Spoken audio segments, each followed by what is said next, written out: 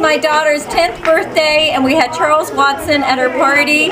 We had a wonderful time. He had the adults laughing and the kids clapping and cheering and he also made animal balloons at the end for each child. We all had a great time and it was a great party and we would recommend him for anyone.